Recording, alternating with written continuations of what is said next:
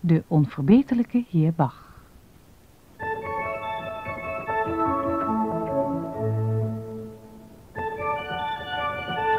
Stop! Dat doe je helemaal verkeerd. Je speelt op het orgel alsof het een klavecimbal is. Maar dat zijn twee totaal verschillende instrumenten. Als je een orgel goed wil laten klinken, moet je het orgel laten zingen. Probeer het begin nog maar eens. Maar nu met deze registratie.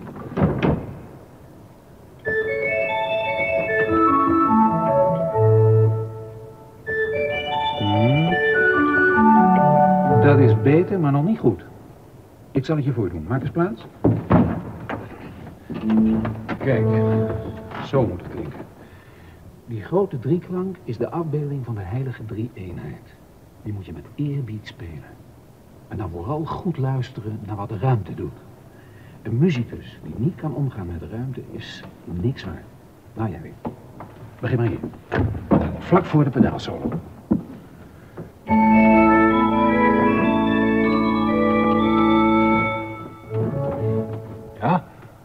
Moet dat nou? Daar staat een E hier in het pedaal. Die zit er helemaal Ja. niet op. Dat is waar. Ik heb dit stuk laatst omgewerkt voor het orgel in Weissenfels, waar het pedaal helemaal tot F loopt. Dan moet je hier de pedaalsolo maar op het klavier spelen. Zo deed ik het trouwens vroeger in Arnstad ook. Maar denk erom, een organist moet met zijn voeten alles kunnen wat hij ook met zijn handen kan. Elke triller moet je net zo scherp en duidelijk met je voeten als met je vingers kunnen spelen. Begin maar bij de pedaalsolo.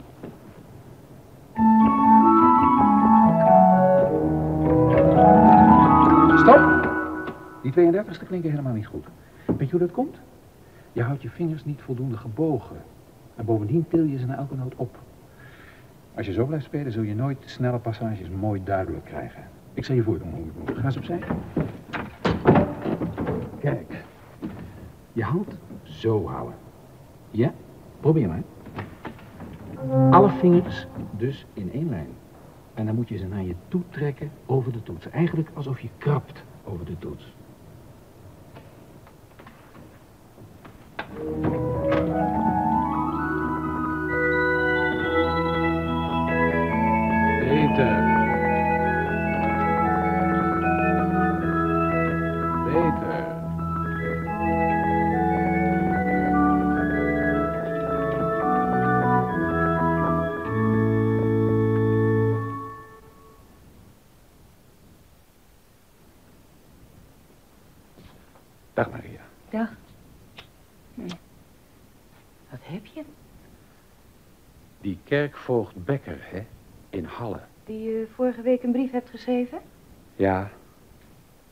Insinueert nu dat ik ze daar in Halle aan het lijntje gehouden heb om hier een salarisverhoging in de wacht te slepen. Ja, maar je hebt toch geschreven waarom je nog niet kunt beslissen? Tuurlijk. Omdat ik daar in Halle als organist minder ga verdienen dan hier als concertmeester-organist. En omdat ik nog maar moet afwachten of de hertog me laat gaan. Ach, die laat een goede muzikus nooit gaan. Zo is hij. Maar de heren in Halle zonden me wel alvast een contract in Duplo. Of ik maar wou tekenen. Hoe kan ik dat nou? Ah, ze willen je daar graag hebben. Ze denken daar organist in de Lieve Vrouwenkerk met dat prachtige orgel... en dan als opvolger van de leermeester van Hendel. Dat is een hele eer. Wat koop ik daarvoor? Mijn baan hier is ook eervol. Zeg, heb je Hendel nog ontmoet? Zijn familie woont toch in Halle? Nee, die is er haast nooit. Komt alleen af en toe uit Engeland over. Maar zou ik hem wel graag eens een keer ontmoeten. Nou, wat doe je nou met Becker? Hm? Hem schrijven dat het stijloos en onredelijk van hem is te insinueren dat ik hem aan het lijntje gehouden heb voor een salarisverhoging hier. Ja, maar een feit is dat de hertog jouw salaris verhoogd heeft. En flink Dat ook. had niets met Halle te maken. Nee, maar hij wist er wel vanaf. Tuurlijk. Als ik ergens solliciteer, moet ik hem verlof vragen. Maar iedereen weet toch dat ik al jaren de oude en ziekelijke Drezen vervang als dirigent. En dat ik de muziek schrijf die zijn zoon eigenlijk had moeten maken. Door die salarisverhoging krijg ik eindelijk het honorarium dat mij toekomt. Ze dat in Halle weten? Ja, ze zijn anders goed ingelicht. Nee, ze moeten weten hoe de situatie hier is. Wat me trouwens ook dwars zit, is dat ze nu suggereren dat ik zo tuk was op die organistenbaan in Halle. nou ja, je hebt per saldo gesolliciteerd. Zeker. Het is een prachtig orgel. Maar na mijn proefspel wou ik naar huis. Had je gedacht? Ze lieten me niet gaan. Ze bezwoeren me om te blijven en een stuk te componeren en dat zelf daar uit te voeren. Niet ik wou zo graag, zij wouden dat ik bleef. Ik denk toch dat je de schijn een beetje tegen hebt. Dan zal ik ze duidelijk maken dat dit niet zo is. En vandaag nog. Ja, ik vind ook dat je daar geen gras over moet laten groeien. Zulke toespelingen woekeren voort. In elk geval kan ik hier in Weimar nu mijn eigen werk uitvoeren. Oh, in dat afschuwelijke huzarenuniform achter de lessenaar van de herzog. Oh nee, dit is geen gezicht. Tja, zo ziet de hertog zijn muzikanten nou eenmaal graag. In zo'n apenpak. Maar mij, wat geeft het? Ik kan muziek maken.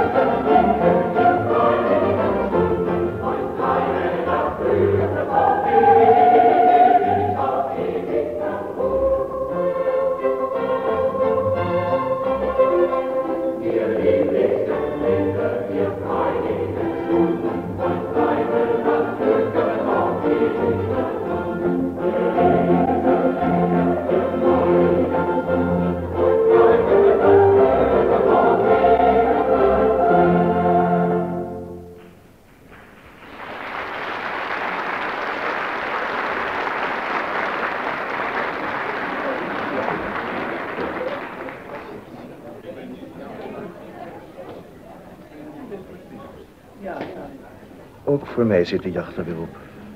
Pales heeft het voortreffelijk gedaan. Schapen kunnen veilig weiden waar een goede herder waakt. Waar agenten graag souperen en ons op een maal trakteren dat ook nog uitmuntend smaakt. Bravo. Niet alleen het zingen, maar ook het parodiëren gaat je uitstekend af. Cobelius en zijn tafelmuzikanten. Weet je dat Cobelius en ik zo'n 13 jaar geleden in Zangerhausen gesolliciteerd hebben naar de functie van organist? Nee, en? Hij werd het. En, hoe is het met mijn petekind?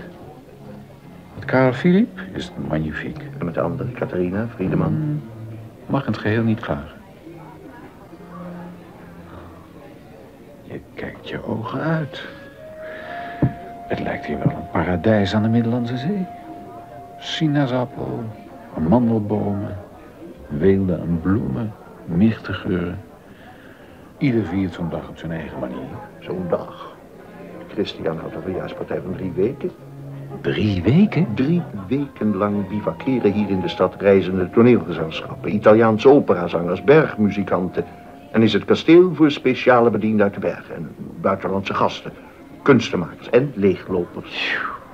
Een dure verjaarspartij. Kosten nog moeite, nog onderdanen gespaard. Nou ja, met een volle Nee, schatkist. nee, nee, die is leeg. Wat de Oh. onderdanen opbrengen gaat regelrecht naar de schuldeisers. Vergeleken daarmee is mijn broodheer een gierigaard. Maar jij krijgt aan het eind van de maand jouw volle salaris. Tuurlijk. Nou, zo natuurlijk is dat hier niet.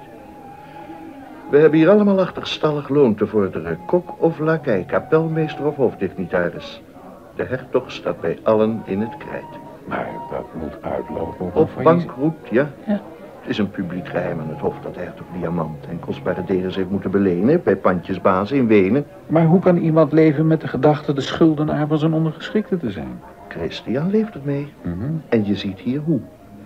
Als je alleen al bedenkt hoeveel het gekost moet hebben die cipressen en sinaasappelbomen hierheen te slepen. Ik zou maar doorreden als ik jou was. Straks gaat je borst ook nog naar de lommerd. Oh nee, niet het instrumentarium voor de zwelg- en braspartijen. Voorzichtig kijken, Sebastiaan. En zie je daar bij die cipressen die opvallende vrouw met wie de hertog staat te praten? Geanimeerd, mogen we wel zeggen. Dat is de hofzangeres Pauline Kellner. Ah. Mag zich verheugen in de gunsten van de hertog. Er staat daar voor haar genoegens dag en nacht zelfs een vorstelijk rijtuig ter beschikking.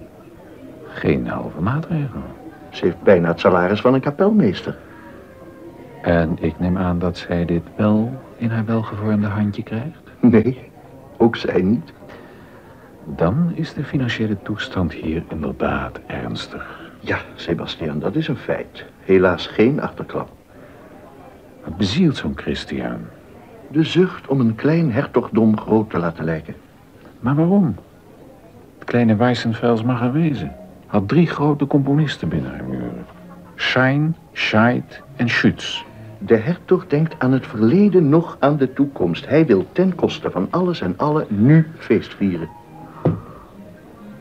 Is het dan niet moeilijk voor jou om onder deze omstandigheden gouverneur voor zijn kinderen te zijn? Wat kunnen die er nou aan doen? Niks. Het is nou eenmaal zo. Meneer Bach, Hm? Ja. zijn doorluchtigheid vorst Leopold van Keuten-Anhalt laat vragen of u zo vriendelijk wilt zijn voor een gesprek naar hem toe te komen. Oh, zeker, heel graag. Tot straks.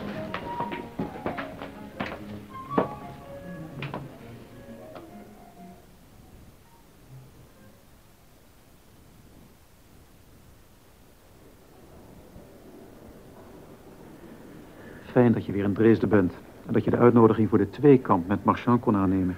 Nou, het heeft me moeite gekost om hierheen te komen, zo kort na de vorige keer. Ik kan bij hertog Wilhelm geen goed meer doen sinds ik hem heb meegedeeld dat ik van betrekking wil veranderen. En Jalle Nieuwert, bij vorst Leopold in Keuten. Ja. De eerste keer dat ik Leopold ontmoette was in Weissenfels, waar ik mijn jachtkantaten uitvoerde. Na afloop hadden we een gesprek waarin hij me aanbood bij hem in dienst te treden. Had je toen al moeilijkheden met je broodheer? Nee. Nee, het was ook daar nog een informeel gesprek hoor, Oh. met Leopold.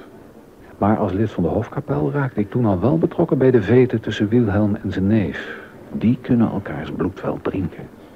De hertog had ons op straffen van een hoge geldboete verboden ook maar één voet te zetten in het rode slot van neef Ernst. Terwijl het notabene tot onze taak behoort ook bij neef Ernst ons werk als muzikanten te doen. Waanzinnige situatie. Nou, ik heb me dan ook nooit iets van dat belachelijke verbod van de hertog aangetrokken. En ben zijn neef gewoon blijven bezoeken. Dat zal hij toch je niet in dank hebben afgenomen? Hm? Nee.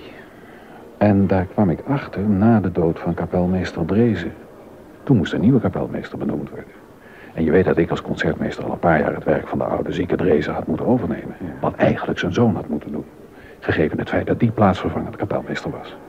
Daar komt bij dat ik elke maand de compositie moet uitzoeken, met het orkest instuderen of zelf een stuk schrijven. Redenen genoeg voor mij om stellig te verwachten dat de hertog mij tot de opvolger van de overleden kapelmeester Drezen zou benoemen. Maar hertog Wilhelm beschikte anders. Ja. Na enige tijd hoorde ik dat hij Teleman voor die functie probeerde te krijgen. Maar die bedankte. En jij denkt dat de hertog jou passeerde omdat jij bleef omgaan met zijn neef? Wat anders? Hoe dan ook. Ik vond het hoog tijd om serieus in te gaan op het aantrekkelijk aanbod van vorst Leopold in Keuten. En toen ik ook nog mocht vernemen dat mijn broodheer voornemens was Drezen junior tot kapelmeester te benoemen en mij als dienstplaatsvervanger, was voor mij de maat vol. Ik heb voor die eer bedankt en mijn ontslagaanvraag ingediend. Heb je gezegd dat je naar Leopold van Keuten wou? Nee, want aangezien Leopold de zwager van zijn gehate neef is, leek het mij beter mijn nieuwe werkgever niet te noemen. Al zal de hertog het intussen wel weten, want ik heb mijn meubels al door bedienden van Leopold naar Keuten laten brengen. Ach. Zoiets blijft in een kleine plaats als Weimar niet onopgemerkt. Nee. Ik kan me indenken dat de hertog furieus is. Omdat het voor hem duidelijk is dat zijn neef de hand in het spel heeft. Nou, dat merkte ik toen ik opnieuw mijn ontslag vroeg. Hij is in alle staten, wil niet meer met me praten. Zou ik me maar niets van aantrekken. Nee, maar de hertog wil me ook niet laten gaan.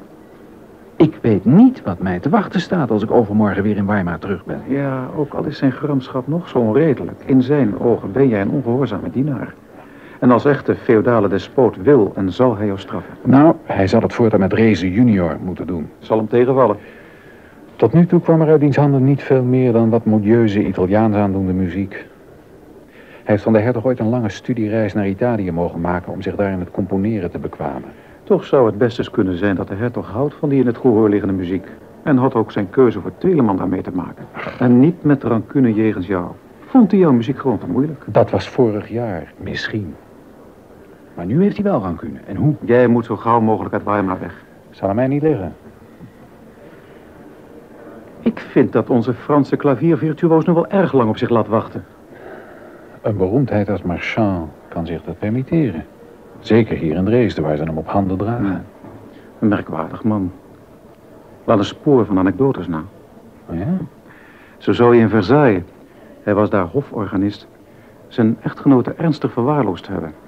Dat kwam de koning te oren die een hofdignitaris naar hem toestuurde met de mededeling dat hij de helft van zijn salaris aan zijn vrouw moest afstaan. Zo. Tijdens het eerstvolgende concert dat hij in Versailles gaf, hield Marchand halverwege op en richtte zich tot zijn voorname gehoor met de volgende woorden. Als men vindt dat mijn echtgenote de helft van mijn salaris dient te krijgen, dan moet zij nu ook maar de tweede helft van dit concert afmaken. De Franse koning zal deze woorden niet op prijs gesteld Nee, zeker niet. Louis Marchand moest maken dat hij wegkwam. En dook weer op, hier in Dresden, waar hij als de beroemde Franse klaviervirtuoos met open armen werd ontvangen. Hij is inderdaad een bewonderenswaardig muzikus. Ik vraag me nu toch echt af waar hij blijft. Anders stel ik voor dat jij begint. Hm. Dan krijgt het publiek in elk geval een goed stuk muziek te horen. Daar wenkt iemand.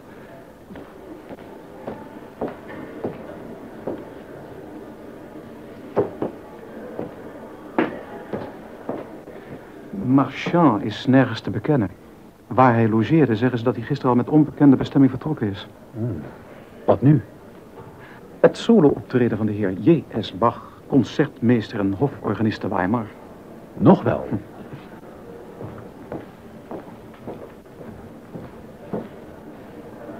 Hoog en weledele dames en heren, hooggeëerd publiek. Zojuist bereikte ons het bericht dat de heer Louis Marchand hier vanavond niet zal optreden. Hetgeen als gevolg heeft dat de tweekamp met de heer Johann Sebastian Bach geen doorgang zal vinden. Gelukkig hebben wij de heer Johann Sebastian Bach, concertmeester en hoforganist te Weimar, die hier wel aanwezig is, bereid gevonden voor ons op te treden.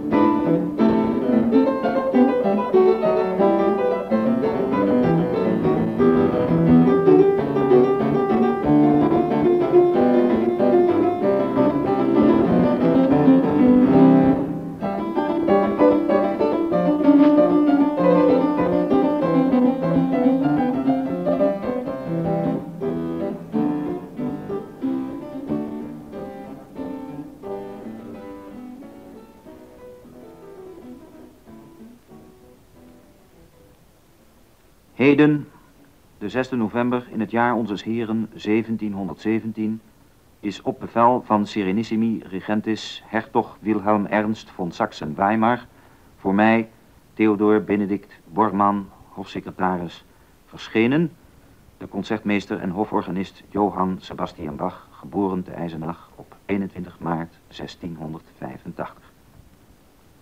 Op last van zijn doorluchtigheid heb ik de heer Bach van het volgende in kennis te stellen. Dat de impertinente wijze waarop hij zijn ontslag als hofbediende poogt af te dwingen, de ontstemming van zijn doorluchtigheid verwekt heeft, dat de heer Bach halstarrig in deze houding verhardt en zich onverbeterlijk betoont, en dat hij derhalve op bevel van zijn doorluchtigheid hertog Wilhelm Ernst bij deze met ingang van heden in hechtenis genomen wordt. Aldus gedaan te Weimar de 6 november 1717. U hebt hier kennis van genomen?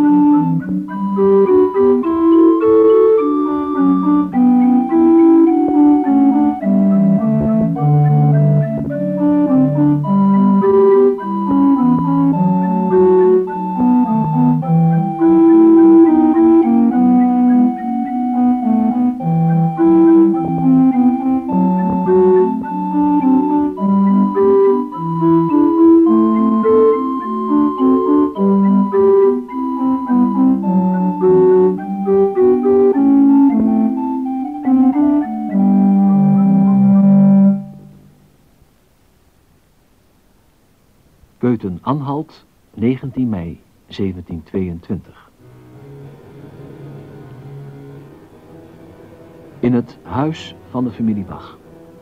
De twaalfjarige Friedeman is begonnen aan zijn muziekles. Het kleine vriendelijke vorstendom van Leopold von Goethen-Anhalt is sinds december 1717 de woonplaats van onze hofkapelmeester. Twee jaar geleden stierf zijn vrouw Maria Barbara. Bach hertrouwde zo'n vijf maanden geleden met de hofzangeres Anna Magdalena. Hier in Keuten kan hij zich helemaal wijden aan het componeren van vocale en instrumentale muziek.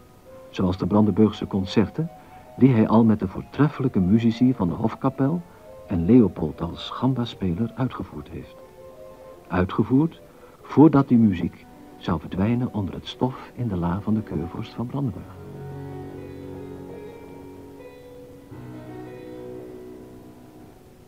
Nu komt Bach de kamer binnen waar zijn zoontje speelt.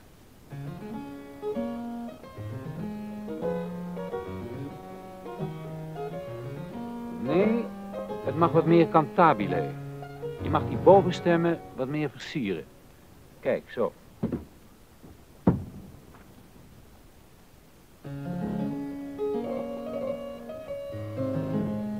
Dat is moeilijk zeg. Alles is moeilijk.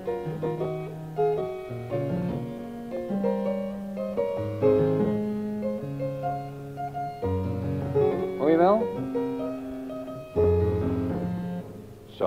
nou jij.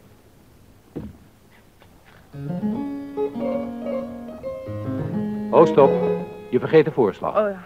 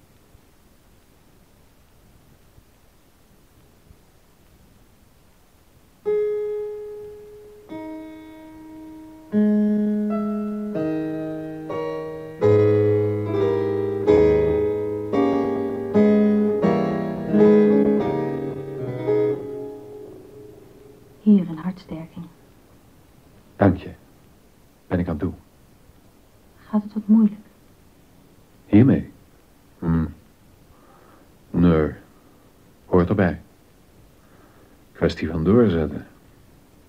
Toen je daarnet terugkwam van je bezoek aan Leopold, toen, eh, toen vond ik je nogal bedrukt.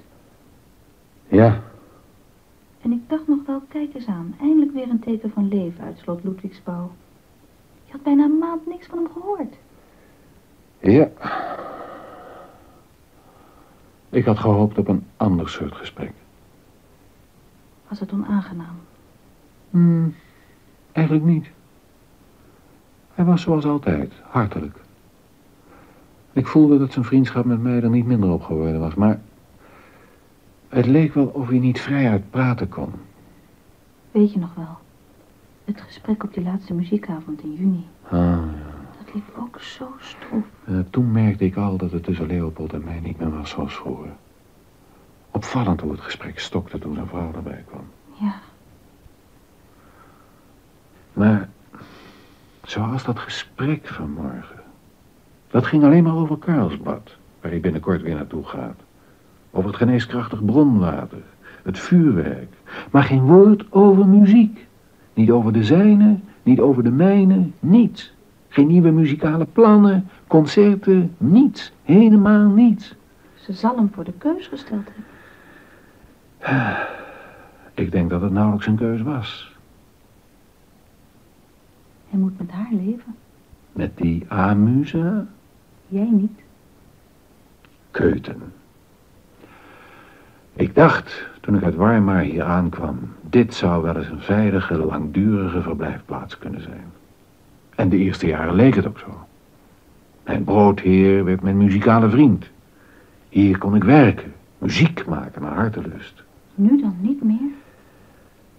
Ludwigsbouw is voor mij een vreemde vesting geworden. Wil je hier weg? Naar Leipzig. Leipzig? Daar is de post van kantor aan de Thomasschool vakant. Na de dood van Johan Koenau, begin juni. Maar ga je er vergeleken met je positie hier niet op achteruit? Maar als je weet wie er solliciteren naar die baan. Zelfs Steelman. Onze nationale beroemdheid.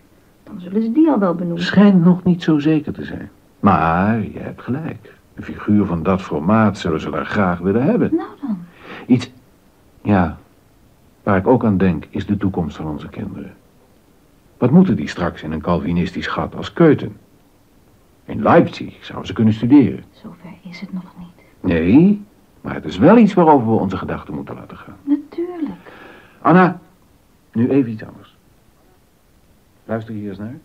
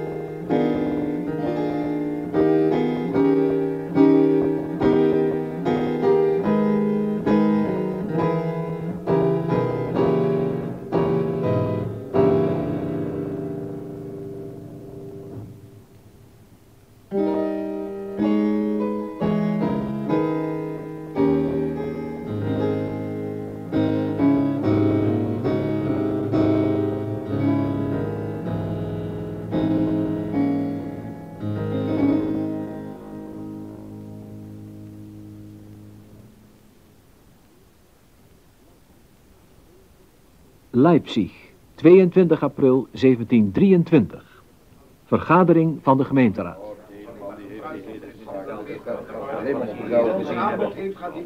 Die heeft, die heeft de boel tegen elkaar uitgespeeld. Nou, niet helemaal. Nee, nee, ja, ja. Daar gaat het niet om.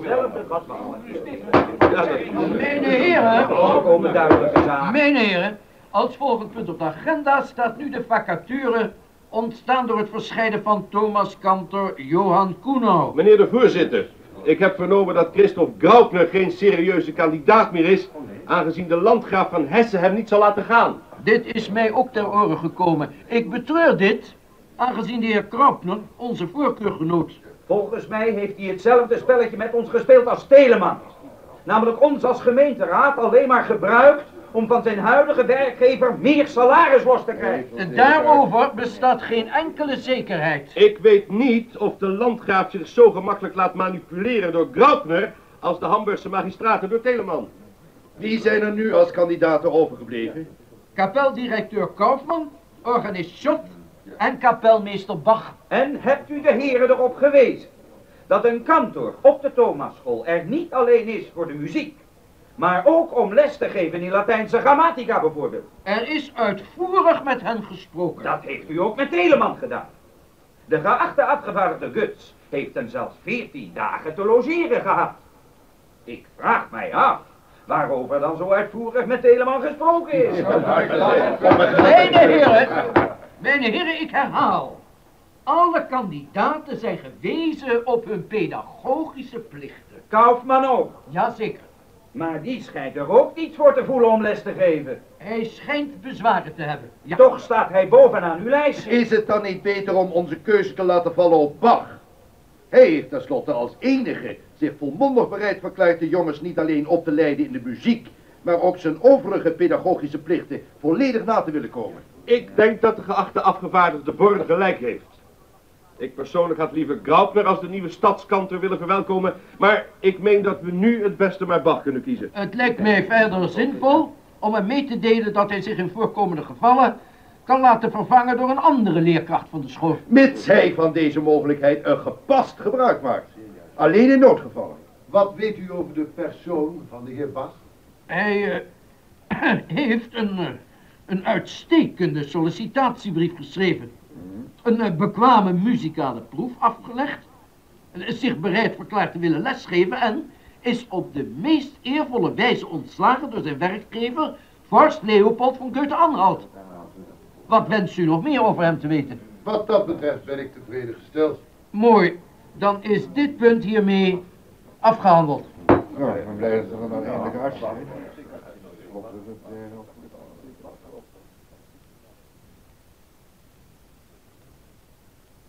Getroost hart, ontspring dan.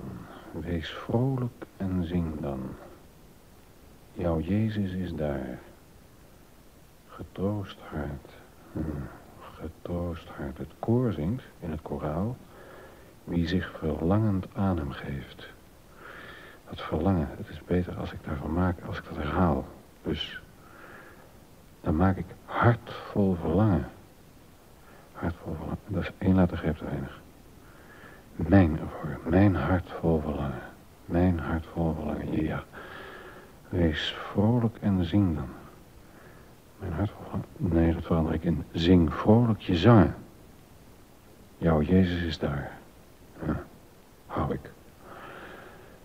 Wegtreurnis en klagen. Dat is beter wegtreurnis, wegklagen. Ja, dat is beter. Hoe wordt het nu? Mijn hart vol verlangen, zing vrolijk je zangen, jouw Jezus is daar. Ja, dat doe ik. Luister eens. Hier, dit is, eh, dit liet ik de fagot spelen in de aria van Pallas uit de jachtkantaten.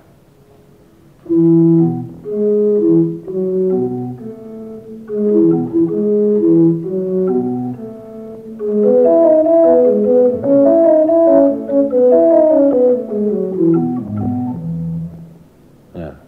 Is het mooi? Wanneer heb je die geschreven?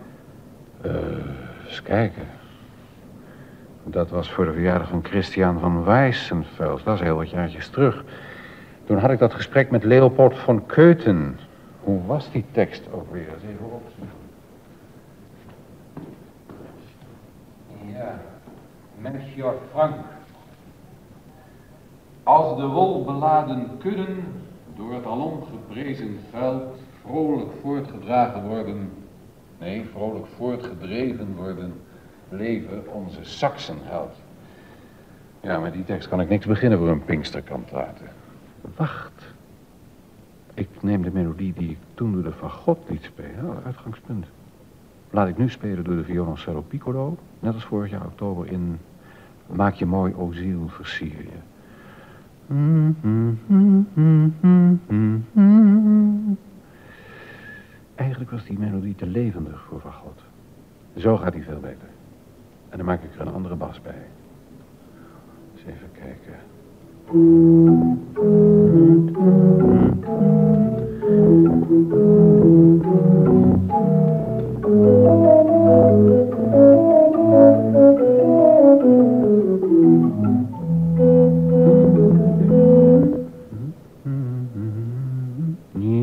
Dat loopt mooi zo. Goede inleiding.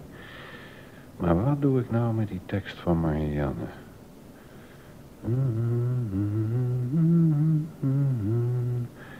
Mijn hart vol verlangen. Nee. Mijn hart vol verlangen. Ja. Mijn hart vol verlangen. Ja, dat klinkt goed. Accent op hart. Mijn hart. Ja. Accent op hart. Dan kan ik in het midden mooi uitwijken naar D klein. Bij mijn Jezus dichtbij. Zal ik eens Ja. proberen? Hè? Ja. Ja, ga je gang. Kom maar.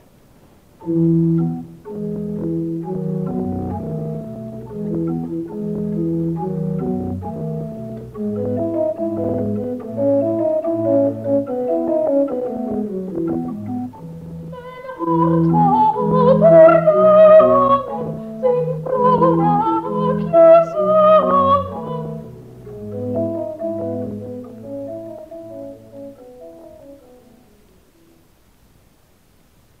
von Kirschbach, Dat ben ik. Gunner is mijn naam. Ik zou u graag een vraag willen stellen, kan dat? Dat kan. Zou u zo vriendelijk willen zijn mij uit te leggen waarom u de heer Bach gevraagd hebt de treurmuziek ter nagedachtenis van koningin Christiane te componeren? Een eh, wat ongewone vraag. Maar ik kan die heel duidelijk beantwoorden. Graag. Omdat de heer Bach naar mijn mening een voortreffelijk componist is. Het is uw goed recht, meneer van Kirschbach, om dit te menen. Wel nu, dan is Maar zou ik dan zo vrij mogen zijn daar een tweede vraag aan te verbinden? Ga uw gang. Het zal u ongetwijfeld bekend zijn dat Bachs compositie zal worden uitgevoerd in de universiteitskerk. Dat is mij bekend. En dat ik door het bestuur van de universiteit ben aangesteld om de muzikale uitvoeringen in die kerk te leiden. ja. Vergunt u mij dan een derde vraag te stellen? Denkt u dat een man als Bach zijn werk door mij zal laten dirigeren? Op die vraag kan ik niet zomaar een antwoord geven. Ik wel helaas. Bach dirigeert zijn eigen werk altijd. Ja, ziet u. Ik volg natuurlijk niet al zijn uitvoering op de voet. Maar ik geloof wel dat... Bach zelf de uitvoering zal leiden, in mijn plaats. Terwijl het mijn recht is om dat te doen in die kerk. Tja, dat is een moeilijke zaak. Het is tenslotte niet uw compositie. Maar wel mijn recht, meneer van Kirschbach. Misschien dat de heer Bach deze... Het mij zal laten doen, nou dan kent u deze man niet. Maar waarom komt u bij mij? Wat wilt u dan? Mijn recht, meneer van Kirschbach. Mijn recht. Maar hoe kan ik u daarbij helpen? De directie van de muziek in de universiteitskerk komt mij rechtens toe. Het is voor mij geen divertissement, maar broodwinning. Door Bach die opdracht te geven voor muziek die in de universiteitskerk zal worden uitgevoerd, pleegt u ten opzichte van mij broodroof. Dat betreur ik buitengewoon. Ik zweer u dat ik in het geheel niet de bedoeling heb gehad u te schaden in uw broodwinning. Ik wil u desnoods op staande voet schadeloos stellen. Dat waardeer ik. Ik wil die schadeloosstelling graag aanvaarden. Daar ben ik blij om. Op één voorwaarde. Dat de heer Bach dit stuk ondertekent. Waarin hij belooft voortaan af te zien van het aanvaarden van opdrachten voor muziek uit te voeren in de universiteitskerk. Aangezien de directie van die muziek in die kerk mij rechtens toekomt. Alsjeblieft. Dus u verlangt van mij dat ik hem dit stuk laat ondertekenen? Dat is mijn voorwaarde voor het aanvaarden van de schadeloosstelling. Nou, ja. Ik hoop voor u dat Bach dat wil doen. Dan geef ik u nu het geld ter vergoeding van de gederfde inkomsten. Ik eh, ben ervan overtuigd dat, gegeven uw goede verhouding met de heer Bach, zeker na de opdracht, hij bereid zal zijn dit stuk te ondertekenen. Overigens heb ik deze kwestie al besproken met het bestuur van de universiteit. Ze staan geheel en al achter me. Ze hebben al een wat onaangename ervaring met de heer Bach. Nou, ik kan u alleen beloven dat ik het zal proberen. Maar ik vind ook... Dat de heer Bach pretenties heeft. Dat de heer Nee, Bach niet... ik niet. Ik wou zeggen dat tegenover uw goed recht Bachs goed recht staat om zijn eigen werk te dirigeren. Bestrijd ik niet. Het gaat mij er alleen maar om dat hij deze opdracht niet als een president beschouwt om in het vervolg zijn muziek in de Pauliner uit te voeren. Aangezien dit daar mijn werk is, daartoe aangesteld door het bestuur van de universiteit. Dat weet ik nu, ja. Maar het schijnt dat de heer Bach niet weet dat hij daar niets te zoeken heeft in die kerk. Hij denkt dat hij hier de muzikale pauze is. Meneer Görner, ik zou dit gesprek graag willen beëindigen. Gelukkig denken zeer velen daar anders over. Ik groet u.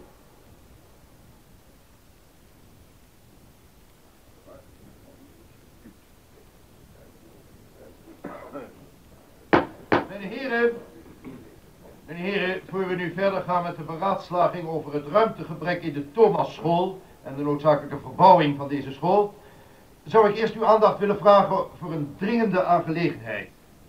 Deze betreft de moeilijkheden rond de kantor van de Thomasschool, de heer J.S. Bach.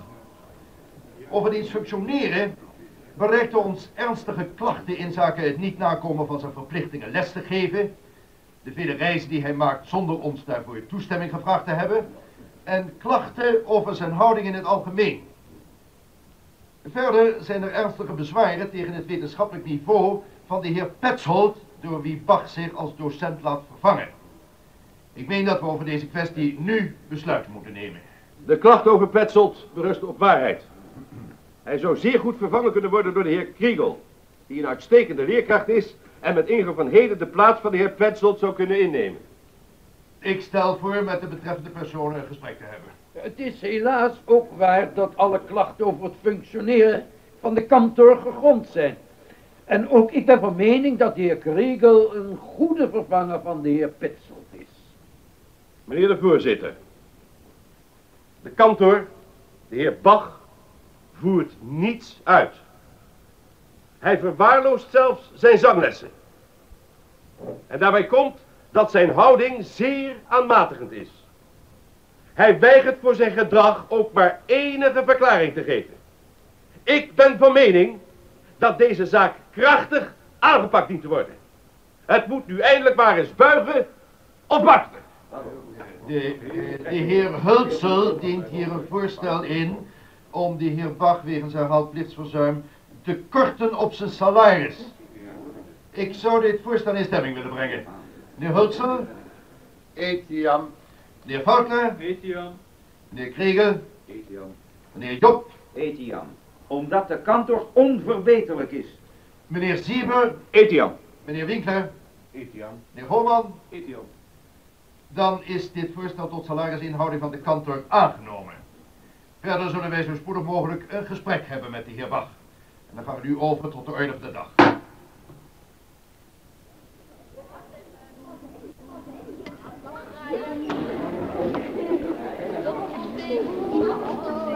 Jongens, we gaan beginnen.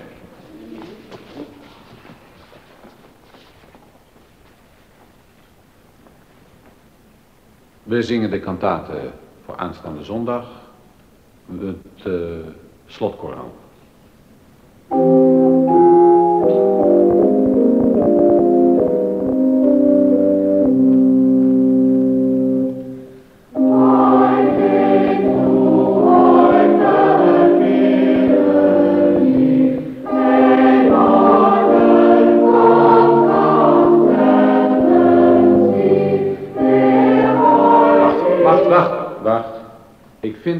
Jullie bij dit koraal aan het eind van een zin moeten afsluiten. Dus niet doorzingen. Nee? We beginnen nogmaals bij de eerste strofe. En doen daar meteen de tweede strofe achteraan. Het voorspel sla ik nu over, ja?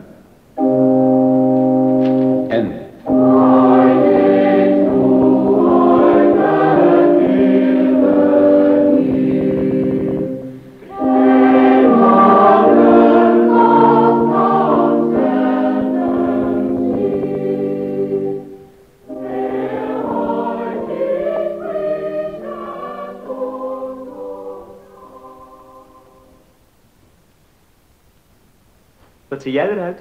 Ernestie is in alle staten. Hij wil me morgenochtend voor het front van de hele school als straf stokslagen laten toedienen. Je ziet eruit alsof je ze al gehad hebt. En dat alleen omdat ik me even heb laten gaan. Een paar tikken heb uitgedeeld. Je kwam net van Bach? Ja, Ik neem aan dat hij achter je staat. tuurlijk. Hij had me uitdrukkelijk opdracht gegeven de jongens van het koor rustig te houden. Het was de laatste tijd zo'n bende. En dan valt met Ernest niet te praten. Morgenochtend wil hij me de straf laten toedienen. Ik heb die man nog nooit zo onredelijk gezien. Ik begrijp het niet. Ik wel. Hij weet maar al te goed dat jij Bachs favoriet bent. En nu ziet hij zijn kans schoon. Eet in de kerk, de gelovigen verstoord als gevolg van het onbeheerste optreden van Bachs favoriete koorleider. Erg genoeg. Voor jou, niet voor Ernesti. De stokslagen die hij jou morgen wil laten geven moeten Bach treffen. Waarom? Omdat Ernesti Bach haat. Die erkent zijn rector niet als baas, doet waar hij zin in heeft, hangt de kunstenaar uit. Maar ik krijg de klappen. Of niet? Waarom smeer je hem niet? Ja. Waarom niet? Ik ben geen dorpsgek. Nee. Ik verschijn morgen niet op het tabel. Heel verstandig. Al eh, zal Ernesti dan natuurlijk zijn favoriet voor het koor zijn. Johan? Ja.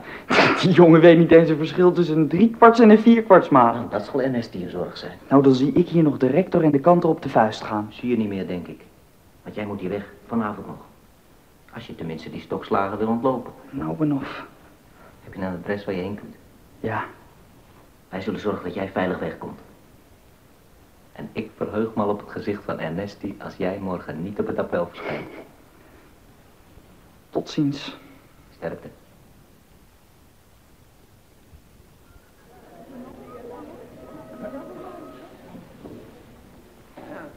Waar is... Meneer Bach, dat kan ik niet toestaan. Buiten mij om deze incompetente jongeman voor het koor zetten. Dat neem ik niet. Hebt u te nemen? Nooit. Ik als kantor bepaal wie mij voor het koor vervangt. Ik benoem de koorleiders op deze school. Dan moet u het reglement maar eens lezen.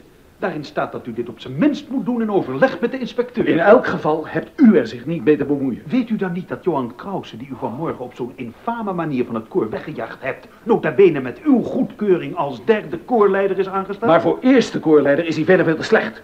Hij weet niet eens hoe hij een dirigeerstok vast moet houden. Nee, dan uw favoriete koorleider. Die wist beter met de stok om te gaan. Dat is het. U wilt uw beschermeling naar voren schuiven. U hebt de koorleider zelfs bevolen die niets nut, die een gigant te gehoorzamen. U ondermijnt hier mijn gezag. Dat doet u zelf. Die lummel staat te zwaaien als een windmolen. Het wordt tijd dat u een toontje lager zingt. U hangt hier de grote onbegrepen kunstenaar uit die onder en boven de wet staat. Nee, die hier tot taak heeft te zorgen dat de school haar muzikale taken in kerk en stad kan vervullen. En die ervoor moet zorgen dat hier leerlingen komen die aanleg hebben voor muziek. Maar tegen mijn advies neemt u leerlingen aan die geen enkel talent hebben. Wat voor talent, meneer Bach? Geestelijke gaven of geld? Hun ouders wel te verstaan. Wat insinueert u? Als de ouders u geld of anderszins boden, hoe hoog waren dan uw muzikale Dat toelatingseisen? is een smerige verdachtmaking. Als het om muziek gaat, ben ik niet te koop. Daar werkt alles voor. Ach ja, alles. Welke zanglessen hebt u de laatste tijd nog gegeven? Dit is geen muziekschool, meneer Bach. Ze moeten hier ook nog wat anders leren dan fiedelen. Laat dat aan mij over. Dat fiedelen en dat zingen en dat leiden van het koor. Laat dat aan mij over. Haal die Johan Krause voor dat koor weg. Nee. Straks bij de Vesper staat hij er weer voor. Dan trap ik hem er vandaan. Ik dood hem niet als koorleider. Wat ook de gevolgen mogen zijn. U speelt hoog spel, meneer Bach. En dat zal u berouwen.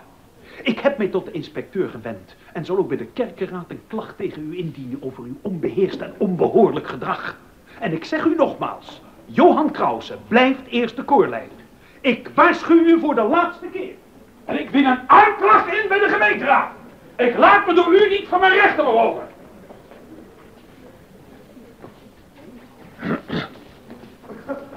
Eh, jongens. Ik zal Krugel vragen of hij het komend uur van me overneemt.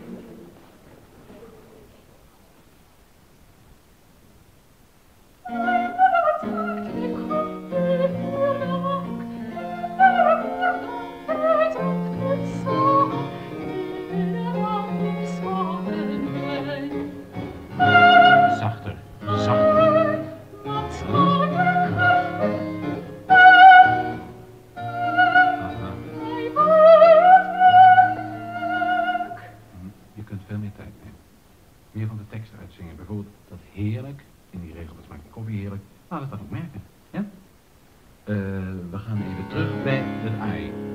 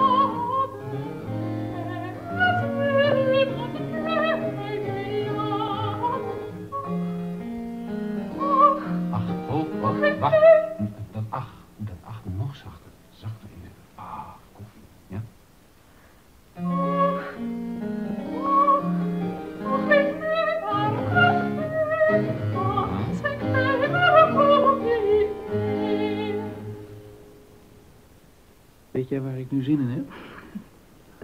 Je zong het net nog heel overtuigend. Koffie milder nog dan duizend kussen. Zin in koffie dus.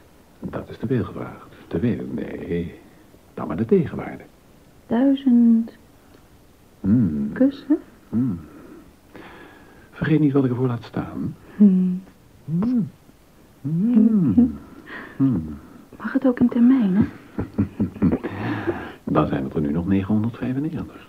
Nee, jij wel goed. 990 dan.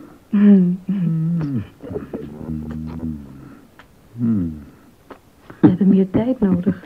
Graag. En een betere plek dan hier. Ja. Maken we samen de entrada voor ons feestje van. Mijn Sebastiaan.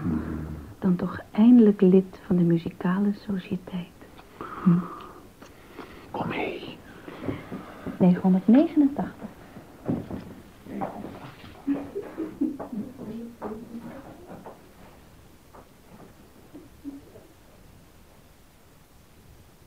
Hoe is het met Sebastian? Zijn toestand is verergerd. Kan ik naar hem toe? Alt-Nicole is nu bij hem. Sebastian dicteert hem een koraal. Hij kan het zelf niet meer doen. Ziet niks meer. Wil jij Sebastian van mij groeten? Ja, zal ik doen. Ik wens jou veel sterkte, Anna. Dank je.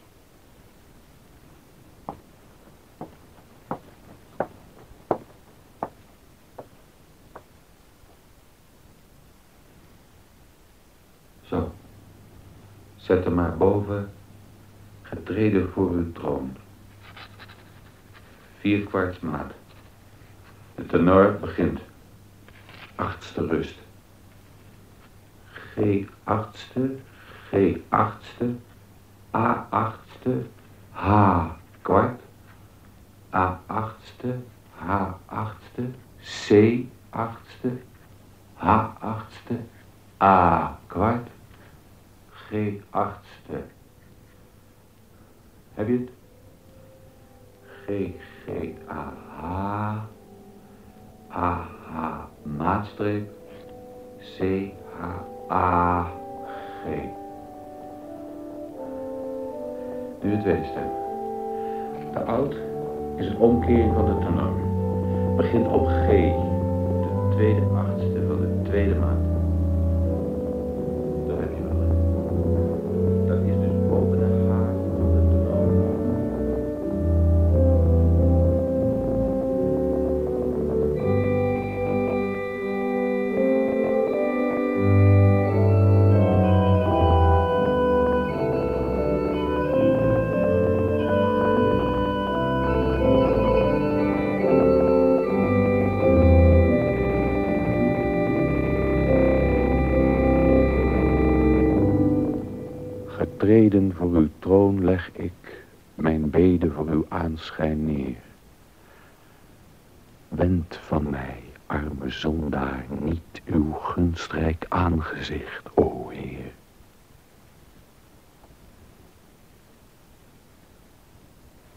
onverbeterlijke heer Bach. Een docudrama geschreven door Ab van Eyck.